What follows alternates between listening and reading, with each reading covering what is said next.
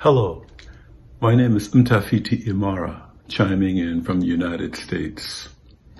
I've been fortunate to be associated with Jazz Goa for many years now. You could hear me play on Big FM's International Jazz Day broadcasts. Please tune in.